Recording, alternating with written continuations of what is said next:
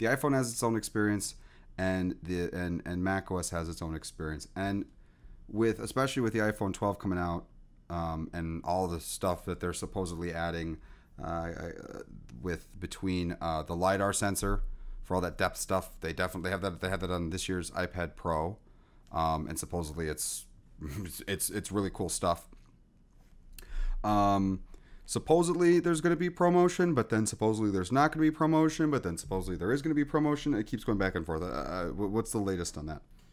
Uh, well, it, that is uh, as of actually July 1st um, from Julie um, uh, Clover or Clover. Sorry if I'm saying that name uh, incorrectly.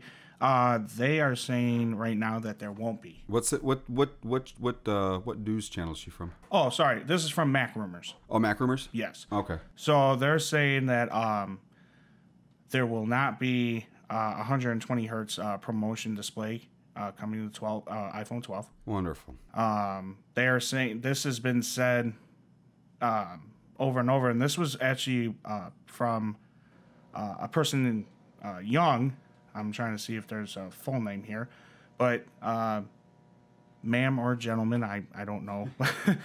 but they're saying that Apple is not expected to make that until 2021. they were supposed to do it with the iPhone 11 Pro.